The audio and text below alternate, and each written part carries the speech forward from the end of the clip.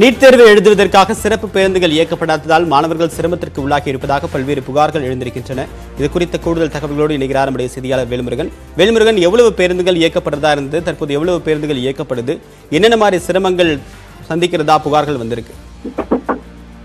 தேவபிரின் அதாவது தற்போது நீட் தேர்வு இன்று சரியாக ரெண்டு மணிக்கு தொடங்க உள்ள நிலையில் பதினோரு மணிக்கெல்லாம் மாணவர்கள் அந்தந்த நீட் தேர்வு மையத்திற்கு செல்ல வேண்டும் என்ற ஒரு நிலை இருக்கிறது. இதற்காக தமிழக அரசு சிறப்பு பேருந்து இயக்கும் என்ற ஒரு எதிர்பார்த்த நிலையில் தற்பொழுது வரைக்கும் அதற்கான அறிவிப்பு எதுவும் வரவில்லை. மாணவர்கள் வழக்கமாக எப்படி செல்ல வேண்டுமோ அதே போலதான் தற்போது பேருந்துகளில் சகஜமான பயணத்தை பே- மேற்கொள்ள வேண்டிய சூழல் இருக்கிறது. குறிப்பாக இன்று ஞாயிற்றுக்கிழமை என்பதால் பேருந்துகளில் கூட்டம் குறைவாக இருக்கும் என்று எதிர்பார்க்கப்பட்டாலும் கூட மாணவர்களுக்கு சிறப்பு பேருந்துகள் இயக்கப்பட வேண்டும் என்கின்ற கோரிக்கை என்பது பரவலாக எழுப்பப்பட்டிருந்தது. அதற்கான அறிவிப்பு நேற்று இரவு வரைக்கும் வரும் என்ற ஒரு எதிர்பார்த்த நிலையில் தற்பொழுது வரைக்கும் அதற்கான அறிவிப்பு வரவில்லை. குறிப்பாக குறிப்பாக தமிழ்நாடு முழுவதும் ஒரு லட்சத்தி பதினேழாயிரத்தி தொள்ளாயிரத்தி தொண்ணூறு மாணவர்கள் தேர்வு எழுதுகிறார்கள். இதில் சென்னையில் மட்டும் நாற்பத்தி ஆறு மையங்கள் வந்து இன்று வந்து தேர்வு எ- எழுதப்படுகிறது.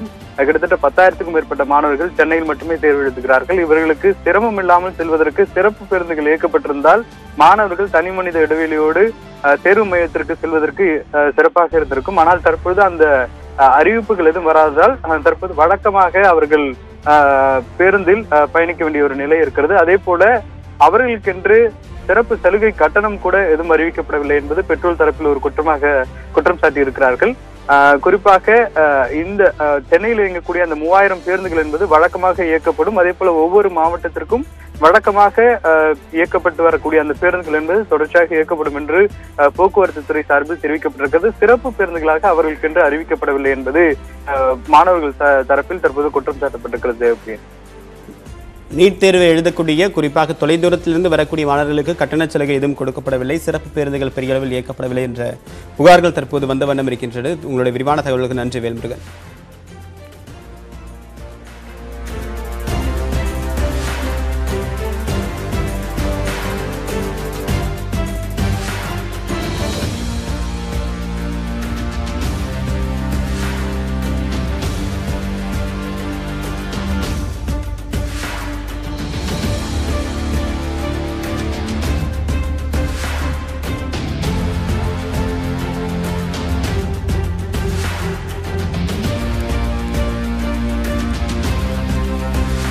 நீட் தேர்வு அச்சித்தால் தருமபுரியில் தற்கொலை செய்து கொண்ட மாணவரின் உடலை வாங்க உறவினர்கள் மறுத்து வருகின்றனர். இதனால் அரசு மருத்துவமனை முன்பாக போலீசார் குவிக்கப்பட்டிருக்கிறார்கள். விவரங்களோடு இணைகிறார் நம்முடைய செய்தியாளர் கோகுல். கோகுல் தற்போது அந்த மாணவருடைய பின்னணி என்ன? எத்தனை வருடமா அவர் நீட் இது முதல் முறையா நீட் தேர்வு சந்திக்க போறாரா? இரண்டாவது முறையா நீட் தேர்வு சந்திக்க போறாரா? என்னுடைய பின்னணி என்ன? அவங்க பெற்றோர் என்ன செய்றாங்க? ஏன் பெற்றோர் உறவு உடலை வாங்க மறு மறுப்பு தெரிவிக்கிறாங்க?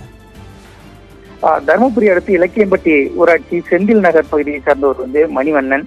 இவர் வந்து இந்த பகு சொந்த ஊர் வந்து சேலம் மாவட்டத்துல இருக்கிறது. ஆனா இங்க வந்து பழைய டிராக்டர்கள் வாங்கி விற்கக்கூடிய ஒரு பணியை செய்து கொண்டு இங்க தருமபுரியிலேயே தங்கி வசித்து வருகிறார். இவருடைய மகன் தான் வந்து ஆதித்யா. இவர் வந்து கடந்த ரெண்டாயிரத்தி பதினெட்டாம் ஆண்டு வந்து நாமக்கல் மாவட்டத்தில் இருக்கக்கூடிய ஒரு தனியார் பள்ளியில வந்து ஃபர்ஸ்ட் முடித்திருக்கிறார். அந்த ஆண்டும் ஏற்கனவே கடந்த ஆண்டும் வந்து நீட் தேர்வு எழுதி தேர்வில் வெற்றி பெறவில்லை.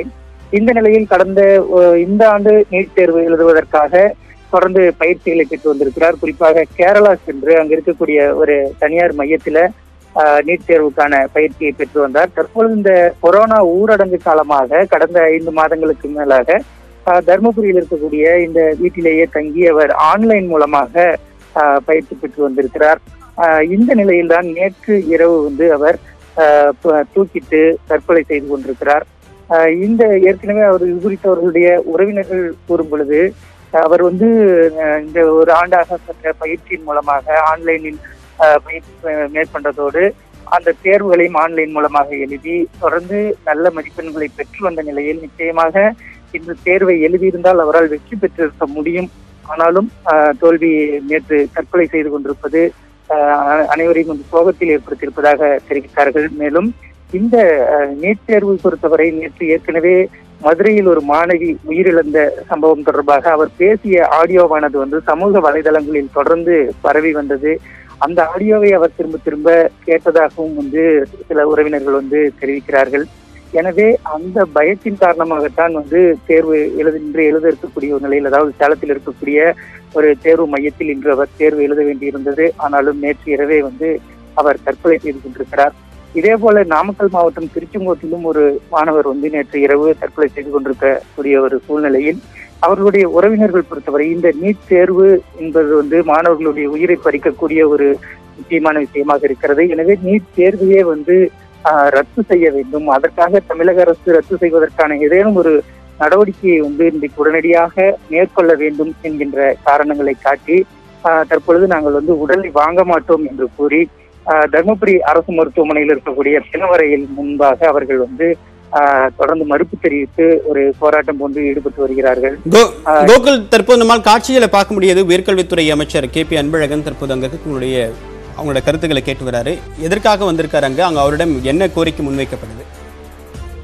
தற்பொழுது வந்து ஏற்கனவே சற்று முன்பாக வந்து ம- சேலம் மாவ- இந்த தருமபுரி மாவட்டத்தினுடைய காவல் கண்காணிப்பாளர் அவர்களும் மாவட்ட ஆட்சியர் அவர்களும் ஆதித்யாவினுடைய பெற்றோர்களை சந்தித்து அவர்களுக்கு ஆதரவு ஆறுதல் தெரிவித்ததோடு அந்த உடலை வாங்கிக் கொள்ளுமாறு ஏற்கனவே வந்து அவர்களிடம் பேச்சுவார்த்தை தொடர்ந்து நடத்தப்பட்டு வந்தது. இந்த நிலையில் தான் தற்பொழுது ஆஹ், உயர்கல்வித்துறை அமைச்சரும் வந்து அவர்களுக்கு ஆறுதல் தெரிவிப்பதற்காக தற்பொழுது ஆஹ், இந்த அரசு மருத்துவமனையில் இருக்கக்கூடிய அந்த பிணவரை முன்பாக அந்த பெற்றோர்களை சந்தித்து தற்பொழுது ஆஹ், ஆறுதல் தெரிவித்து வருகிறார்.